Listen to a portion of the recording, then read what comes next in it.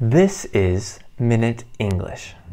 Here is a quote to ask Is this true?